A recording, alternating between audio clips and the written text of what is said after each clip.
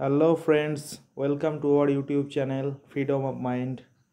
Today, in this class, I will discuss about a poem uh, which is called The Vagabond, written by Robert Louis Stevenson. The poem belongs to class 7 under the board of West Bengal Board of Secondary Education. So, let's start our class. At first, I will give you some information about our poet Robert Louis Stevenson. Then, I will discuss uh, the lines of the poems, uh, the summary, the summary of the the summary of the stanzas uh, in Bengali and English. Okay, so let's start. At first, I will say uh, about the poet Robert Louis Stevenson. Who was Robert Louis Stevenson? Robert Louis Stevenson or Robert Louis Balfour Stevenson was a Scottish poet, novelist, essayist and a travel travel writer. কি বলছে দেখো? Robert Louis Balfour Stevenson was a Scottish poet একজন কে ছিলেন? একজন কটিস মানে কি বলব একজন কটিস কবি ছিলেন। তার সাথে ছিলেন একজন নোভেলিস্ট মানে উপন্যাসিক ছিলেন এসেইস্ট মানে সাহিত্যিক ছিলেন এবং একজন ট্রাভেল রাইটার মানে বলতে পারো ভ্রমণ কাহিনীকার বা ভ্রমণ কাহিনী লেখক okay his famous works include Treasure Island kidnapped and the and the strange case of doctor Jekyll and mister Hyde কি বলছে দেখো? তার কিছু বিখ্যাত লেখক ছিল মানে লেখনী ছিল যেগুলোর নাম হচ্ছে ট্রেজার আইল্যান্ড কিডন্যাপ এবং the strange case of doctor Jekyll and mister Hyde okay এই ছিল তার কিছু গুরুত্বপূর্ণ লেখনী। তো যাই হোক, আমরা এই ভ্যাগাবন কবিতাটা সম্পর্কে এবার পড়তে শুরু করছি। কি বলছে দেখো? এই the vagabond the vagabond the poem the vagabond written by Robert Louis ব্যালফোর্ড Stevenson represent a kind of life that the poet would love to live কি বলছে? ভ্যাগাবন কবিতাটাতে দেখা যাচ্ছে একটি ভ্যাগাবন্ড যে কি করছে? সে represent the kind of life এক ধরনের জীবনকে, জীবনের সে প্রতিনিধিত্ব করছে।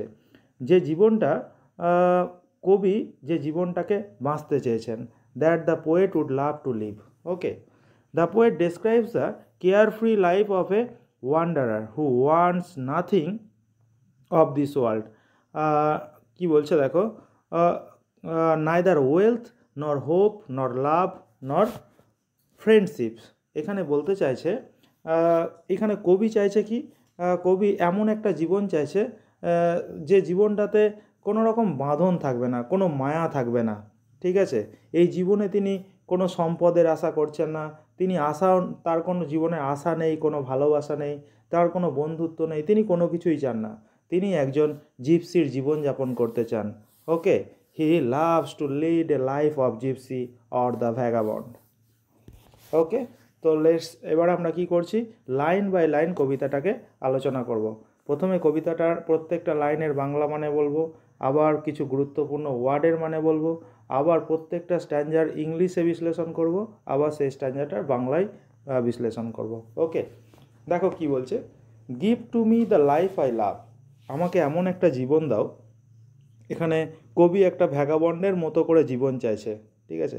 Give to me the life I love lave go by me give the jolly heaven above and the byway nigh me bed in the bush with stars to see bread I dip in the river there's the life for a man like me there's the life for ever কী বলতে চাইছে?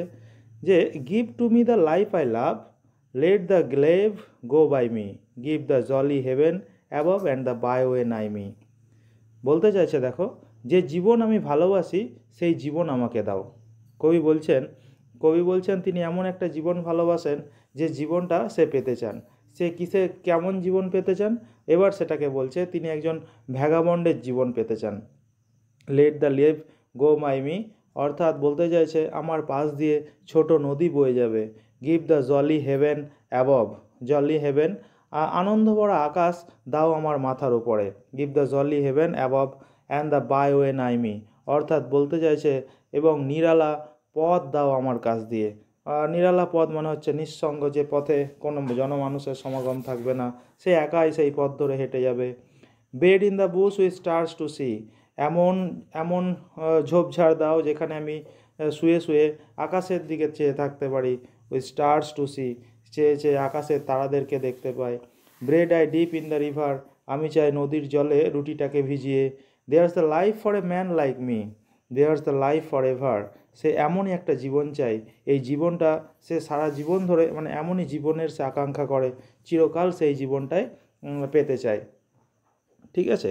তাহলে এখানে বলতে চাইছে, দেখো give to me the life I give to be the give to me the life I love let the lave go by me এই লাইনগুলোর যদি আমি এইভাবে ট্রান্সলেট করি বা এইভাবে সামারি করি এরাম আসছে মানেটা the vagabond is keen in a life the vagabond skin in a life of limitless travel. And all the wants and all he wants to do is travel from uh, one place to another, okay, without any rules and regulations. So he wants a life that he loves, okay. He does not want wealth or valuable materials. Uh, only he wants uh, is the sky. What he wants is the sky as his roof and roads to travel. Okay? তাহলে বলতে চাইছে যে জীবন আমি ভালোবাসি, সেই জীবন আমাকে দাও। এখানে বলতে চাওয়া হচ্ছে the vagabond is keen in a life vagabond এমন একটা জীবনের প্রতি আকাঙ্ক্ষিত বা আগ্রহী এমন একটা জীবন পেতে চাই সেই জীবনটা কেমন? লিমিটলেস ট্রাভেল সীমাহীন ভ্রমণ করতে পারবে। তার ভ্রমণের মধ্যে কোনো বাধা থাকবে না। কোনো পিছুটান থাকবে না। All he wants to do is travel from one place to another সে শুধুমাত্র এক জায়গা থেকে আর এক জায়গায় ভ্রমণ করতে চায় without any rules and regulations যেখানে কোনো নিয়ম শৃঙ্খলা থাকবে না, ঠিক আছে? কোনো নিয়মের মধ্যে দিয়ে তাকে চলতে হবে না। He wants a life that he love সে এমন একটা জীবন চায় যেটাকে সে ভালোবাসে। He does not want wealth সে সম্পদ চায় না অর ভ্যালুয়েবল ম্যাটেরিয়ালস অথবা মূল্যবান সম্পদ সে চায় না, ঠিক আছে? হোয়াট ই ওয়ান্টস সে শুধুমাত্র কী চাই is the sky as his roof যেন তার মাথার ওপরে থাকে আকাশ, একটা ছাদের মতো and a road to travel এবং সে চায় ভ্রমণ করার জন্য একটা রাস্তা। যে রাস্তা দিয়ে সে কী করবে? শান্তিতে সারা জীবন ধরে হেঁটে যেতে পারবে। এই হলো আমাদের প্রথম স্টাঞ্জার প্রথম স্টাঞ্জার ইংলিশ মিনিং এবং তার সঙ্গে বাংলা মানে আমি বলে দিলাম। কিছু ওয়ার্ড রয়েছে, লেপ কথার অর্থ তোমরা জানো, রিভার জলি মানে বলতে পারো আনন্দময় যেটাকে বলা হয় হ্যাপি হ্যাপিনেস ওকে নাই কথার অর্থ তুমি বলতে পারো নিকটে ওকে বায়োয়ে কথার অর্থ হচ্ছে গ্রামাঞ্চলের পথ বুশ মানে হচ্ছে ঝোপঝাড় স্টার্স মানে সবাই জানে ব্রেড মানে রুটি ডিপ মানে ডুবিয়ে দেওয়া, ঠিক আছে? এই যে কিছু কিছু গুরুত্বপূর্ণ ওয়ার্ড ছিল সেগুলোর মানে আমি তোমাদেরকে বলে দিলাম। তো চলো নেক্সট আসা যাক নেক্সট স্ট্যান্ডাতে কি বলছে দেখো, দু নম্বর স্ট্যান্ডাতে let the blow fall soon or late কি বলতে চাইছে? Let the blow fall soon or late late what will be on me give the face of earth around and the road before me wealth I seek not hope nor love nor a friend to know me all I seek the heaven above and the road below me বলতে চাইছে এটাই, দেখো এখানে let the blow fall soon or later দুঃখ কষ্ট আসুক শীঘ্রই অথবা বিলম্বে। যা কিছু ঘটে ঘটুক আমার জীবনে। Let what will be for me ঠিক আছে? বি ওভার মি আমার জীবনে যা ঘটে যায় ঘটুক। Give the face of earth around and the road before me চারদিকে দাও পৃথিবীর মুখ এবং পথ চলে যাক আমার সামনে দিয়ে।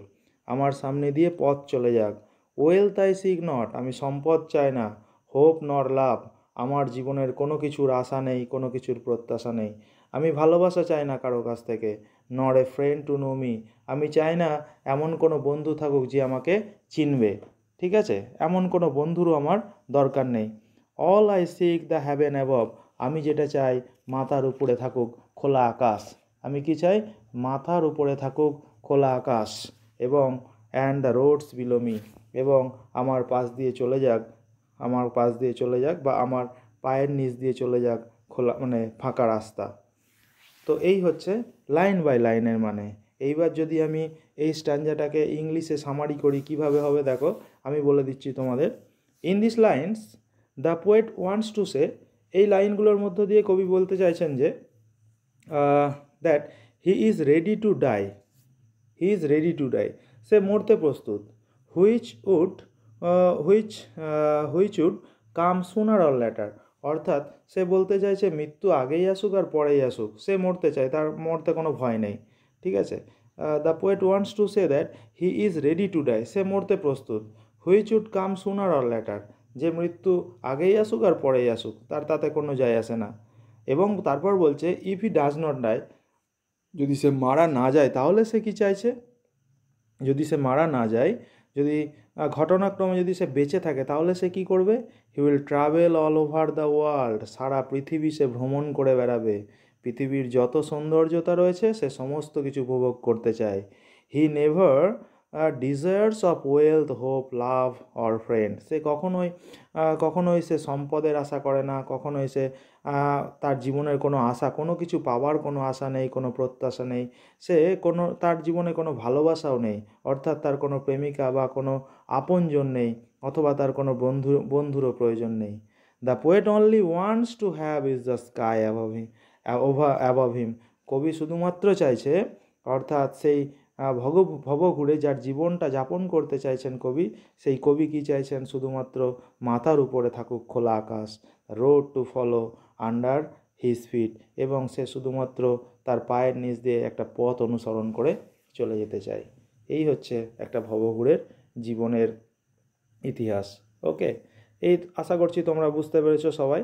এখানে গুরুত্বপূর্ণ শব্দ হেভেন কথার অর্থ অ্যাকচুয়ালি হেভেন মানে স্বর্গ হয়। কিন্তু এখানে বলবে স্কাই আকাশ, ঠিক আছে? হোয়াইট হোয়াইট স্কাই সিক কথার অর্থ এখানে বলতে পারো ওয়ান্ট বলতে পারো ডিজায়ার্স বলতে পারো উইস বলতে পারো। ওকে বিলো কথার অর্থ সবাই জানে আন্ডার বা বিনিথ হ্যাঁ মানে নিচে। ওকে আর সেরম গুরুত্বপূর্ণ শব্দ এখানে সেরম কিছু নেই।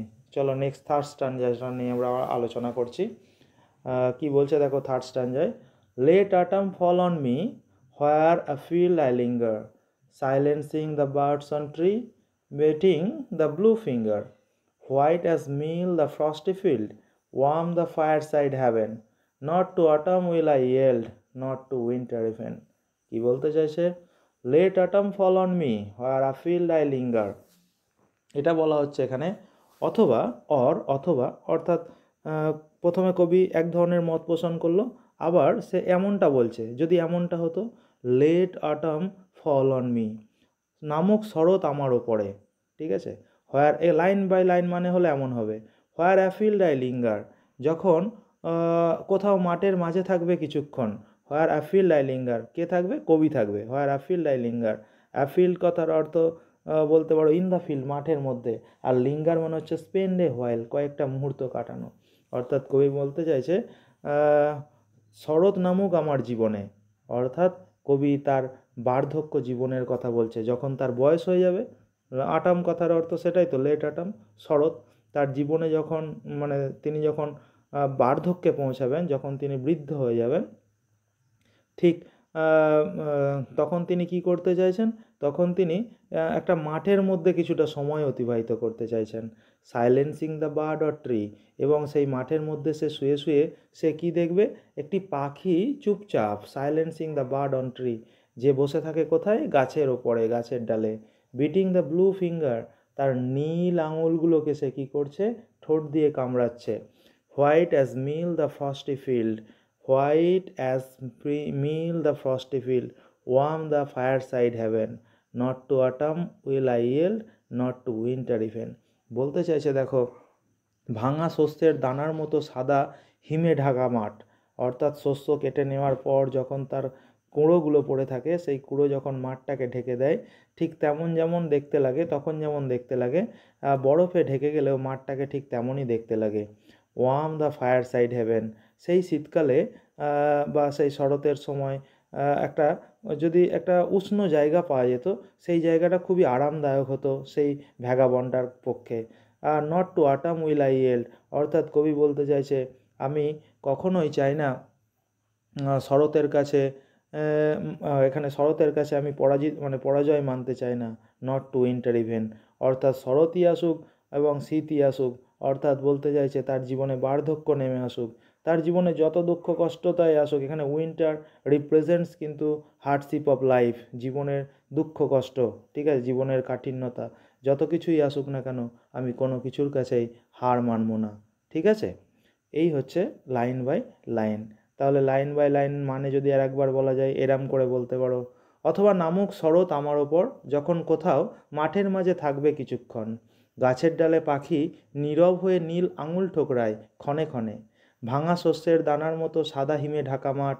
আগুনের পাশে নিরাপদ উষ্ণ একটি স্থানে শরতের কাছে মানমো না পরাজয়, শীতেও হার মানমো না মোর প্রাণ। এই হচ্ছে এই স্ট্যান্ডের লাইন বাই লাইন মানে। এইবার আমি যদি এটাকে সামারি করে বলি, কেমনভাবে বলব? আগের প্যারাগুলো, আগের স্ট্যান্ডাগুলো যেমন আমি বলেছি। Here the poet shows the hardship of life in autumn and winter that he may have to face while living under the open sky এখানে কবি বলতে চাইছে কবি দেখিয়েছেন যে জীবনের যে কঠিনতা, ঠিক আছে? জীবনের যে কি বলব জীবনের যে কঠিন মুহূর্তগুলো আসে সেটার কথা বলছে। ইন আটাম অ্যান্ড উইন্টার সেটা কখন আসে? শরতে এবং শীতে আসে। That he may have to face যেটা হয়তো তাকে যার সম্মুখীন হতে হয় while living under the open sky যখন তিনি খোলা আকাশের নিচে রাত কাটান। The fields look barren in autumn দেখো, এই সময় জমি জায়গাগুলো কেমন থাকে? জমি জায়গাগুলো থাকে কি বলব ব্যারেন কথার অর্থ হচ্ছে এখানে বলতে চাইছো, বলতে পারো অনুর্বর, উন্মুক্ত, ফাঁকা থাকে এই সময়, ঠিক আছে? And the leaves fall from the trees এই সময় গাছের পাতাগুলোও কিন্তু ঝরে পড়ে। দ্য বার্ডস কিপ সাইলেন্স এই সময় পাখিরা শান্ত হয়ে থাকে। They do not sing on the trees তারা গাছের ডালে বসেও কিন্তু গান গায় না। The cold is so severe দেখো, ঠান্ডা এত প্রচণ্ড পরিমাণে পড়ে এই সময়। The winter that blood almost freezes এই সময় শীতকালে কী হয় মানে ঠান্ডার প্রবলতাটা এত বেশি থাকে, রক্ত বলতে গেলে প্রায় জমাট বেঁধে যায়। ফিঙ্গার লুকস ব্লু এবং আঙুলগুলোকে এই সময় নীল দেখতে লাগে। The fields are wrap with snow এই সময় সমগ্র মাঠগুলো কি হয়ে থাকে, বরফের মোড়কে আবৃত হয়ে যায় এবং a vagabond can find comfort besides a fireplace এই সময় একটি ভবঘুরে চাইবে কি? একটা অগ্নিচুল্লির পাশে বসে একটু আরাম অনুভব করতে। এই হলো আমাদের এই প্যারাটার মানে। ওকে? এক কথায় তুমি বলতে পারো in a word this terrible condition মানে এই ভয়ঙ্কর পরিস্থিতিগুলি will not stop a gypsy অর্থাৎ বলতে চাইছে, এই ভয়ঙ্কর পরিস্থিতিগুলো কিন্তু একটা জিপসিকে একটা ভ্যাগাবনকে কিন্তু কি করতে পারবে না? Stop a gypsy from living under the open sky খোলা আকাশের নিচে বাস করা থেকে কি করতে পারবে না? তাকে কন্ট্রোল করতে পারবে না। সে এমনটাই জীবন চায়। যত কঠিনতাই তার জীবনে আসুক না কেন, তার কাছে এটা কোনো ব্যাপার নয়। সে এমনটা জীবন যাপন করতেই অভ্যস অভ্যস্ত। ঠিক আছে? Because all the wishes for is freedom above everything else তার কাছে সমস্ত কিছুর থেকে মূল্যবান হচ্ছে স্বাধীনতা। সে নিজেকে বিক্রি করতে চায় না, সে স্বাধীনভাবে বাঁচতে চায়। যে জীবনে কোনো কি থাকবে না, কোনো বাধা বিপত্তি থাকবে না, কোনো মায়া থাকবে না, কোনো মায়ার বন্ধনে সে আবদ্ধ হবে না। সে চায় একটা স্বাধীন মুক্ত জীবনকে যাপন করতে। এই হলো থার্ড স্ট্যান্ডার মানে। ওকে আর আমাদের যে ফোর্থ স্ট্যান্ডারটা রয়েছে সেটা ওই একই মানে এখানে বারবার করে বলছে লেট দ্য ওই আমাদের যে ফার্স্ট স্ট্যান্ডার যে মানে বলেছিল, সেই রকমই এটাতেও অনেকটা মানেটা বলেছে। Let the blow fall soon or later sorry second stanza যে মানেটা বলেছিল সেই একই মানে এখানে বলতে চাইছে একই বিশ্লেষণ হবে আলাদা করে কিছু বলার নেই তাও আমি একবার বলে দিচ্ছি let the blow fall soon or late let what will be over me give the face of earth around and the road before me Wealth I ask not, hope nor love, nor a friend to know me. All I ask the heaven above and the road below me. কবি কিন্তু সেই একই কথা এখানে বারবার repeat করতে চাইলেন। কারণ কি? তিনি এমফাসাইজ করতে চাইছেন তার উইশটার ওপর। তিনি তার যে ইচ্ছা, তার যে আকাঙ্ক্ষা, সেটার ওপর তিনি জোর দেওয়ার জন্য তিনি কিন্তু এই একই মানে কথাগুলো এখানে আবার চতুর্থ স্ট্যান্ডাতে রিপিট করলেন। তিনি বললেন, দেখো, দুঃখ, কষ্ট, আসুক, শীঘ্রই অথবা বিলম্বে। যা কিছু ঘটে ঘটুক আমার জীবনে। চারদিকে দাও পৃথিবীর মুখ এবং পথ চলে যাক আমার সামনে দিয়ে। সম্পদ আমি খুঁজি না, আশা করি না ভালোবাসা, কিংবা কোনো বন্ধু আমার চিনবে। আমি চাই শুধু মাথার ওপরে আকাশ আর পায়ের নিচে পথ এগিয়ে চলবে। এই হচ্ছে আমাদের কবিতা। কার লেখা? রবার্ট লুইস স্টিভেনসনের লেখা। ওকে, আশা করছি সবাই বুঝতে পেরেছ। ওয়ার্ডের মানে লাইনের মানে লেখক, সরি, কবি পরিচিতি ইচ অ্যান্ড এভরিথিং এবং প্রত্যেকটা স্ট্যান্ডাকে আমি ইংলিশে সামারি করেছি এবং তার বাংলা মানে বলে দিয়েছি, ওয়ার্ডের মানে সমস্ত কিছু বলেছি। আশা করছি কারও কিছু বুঝতে অসুবিধা অসুবিধা হবে না। Okay take care and goodbye